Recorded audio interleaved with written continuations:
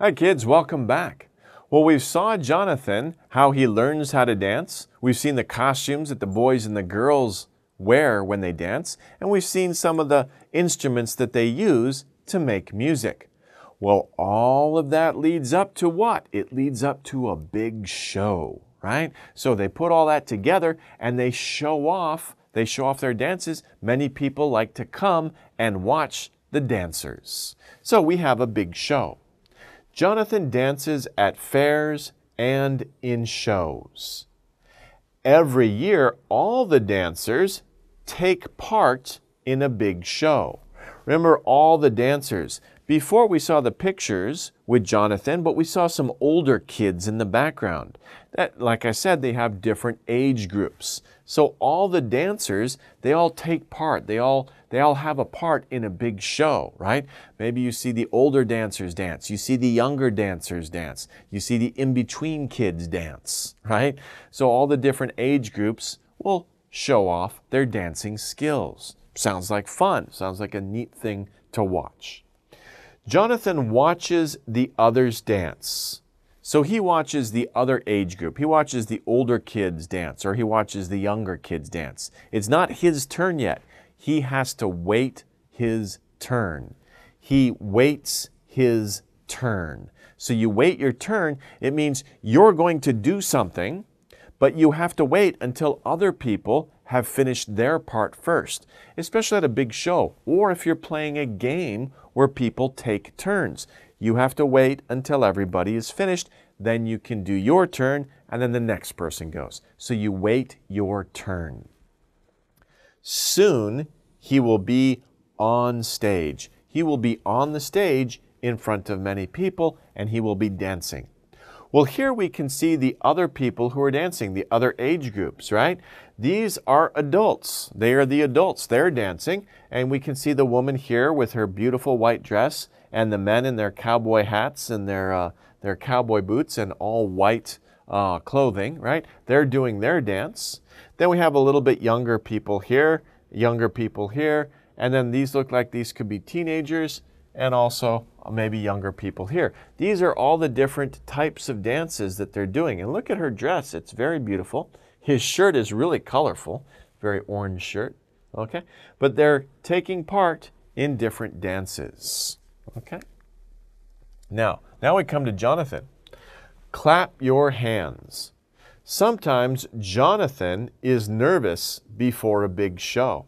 And think about that. Jonathan is waiting his turn.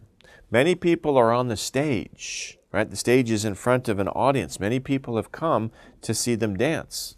How would you feel if you were at a Korean folk dance and you were wearing a hanbok and you were going to do your Korean folk dance with other people the same age as you? Wouldn't you be a little nervous? Yeah, probably. Everybody's nervous to get in front of other people, right? So Jonathan is nervous, a little worried, right? He feels a little worried about his performance. Will he do well? Will people laugh at him? Hope, of course they won't, but everybody is afraid that they will.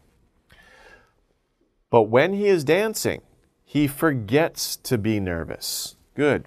Remember, whenever you have to do something, whether it's dancing, give a speech, uh, uh, do some kind of uh, sports, right? Don't be nervous. Once you start doing it, you will forget to be nervous. You'll forget about that. You just do it. Okay? That's a good thing to remember. Don't be nervous. Just go on and do it. You'll be okay. Don't worry. 걱정하지 마세요. right? Don't worry about it. So he forgets to be nervous. Jonathan smiles and claps. So he smiles and he claps. And you can see him here. He's smiling and he's clapping his hands. Okay? The people the people in the audience, they also smile. If you smile, other people smile, right?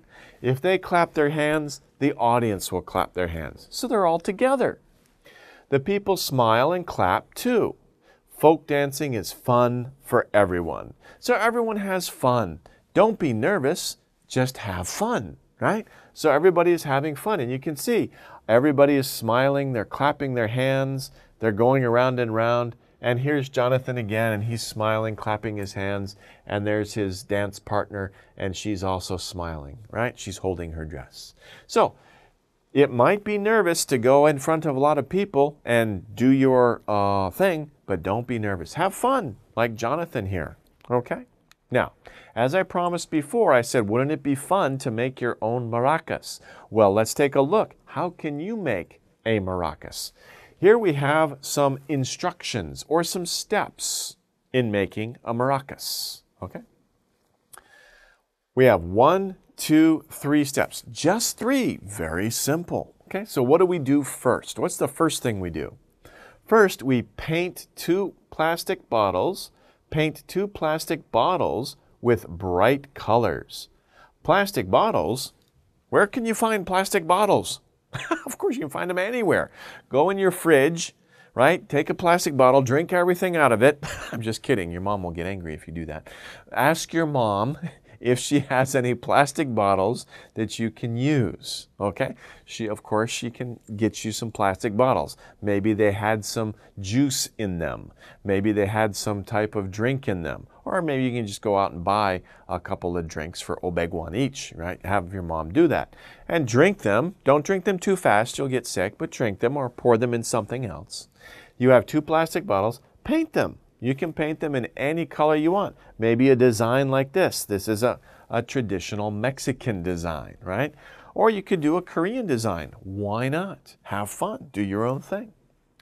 Then after you paint them, leave them to dry, right? You got to wait. You can't just pick them up because you'll get paint on your hands. So leave them to dry. After a little while, then you can uh, do step number two. Now, step number two, put some dry rice in the bottles. Dry rice? Where can you find rice?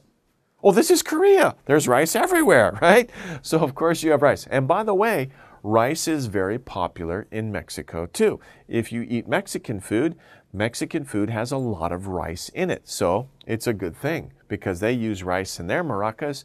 You have rice as your traditional food. Rice is everywhere. Use some dried rice. Ask your mom again to give you some dry rice. She won't give you the expensive rice, but that's okay. You don't need expensive rice. She'll give you some rice. You can put it in the plastic bottles. Then after you put the rice in the bottle, then put the plastic uh, cap on the bottle. Make sure it's tight, right? So the rice doesn't go all over the place. Your mom gets angry. Don't do that, okay? Make sure the cap is tight, okay? So it won't come out. The rice won't come out. Now, you're ready for number three. Play some music. And it doesn't matter what kind of music. It doesn't have to be mariachi music. It could be rock music. It could be hip hop music, right? It can be any kind of music you want. But it should be fast and energetic music. And then you can shake your maracas to the beat, right? You can shake your maracas, and now you have a maraca. That's fun, right? So now you have your maracas. Why don't you learn uh, how to do a folk dance? Either mariachi music, you can look on the internet, see how people dance to mariachi, or you can learn how to do Korean folk dances, right? And you can also use, you can mix it up, right? You can mix the cultures and you can have a fusion dance, right? Fusion, F U S I O N. A fusion dance is where you combine two or more cultures, right? Sometimes people talk about fusion food. It's like Italian food and Korean food mixed, fusion food. Well, you can have a dance that's a fusion dance, Mexican and Korean dance, maybe. It's fun and it's good exercise. so, remember, exercise is good, dancing is fun. Why not learn how to dance? Why not learn how to do some folk dancing? You know how to, how to make some maracas. Why not learn how to dance the Mexican folk dances? That's kind of interesting. Okay, well, we'll see you next time. I hope you learned a lot this time and have fun. And I hope you start dancing. Okay, we'll see you next time. Take care, everybody.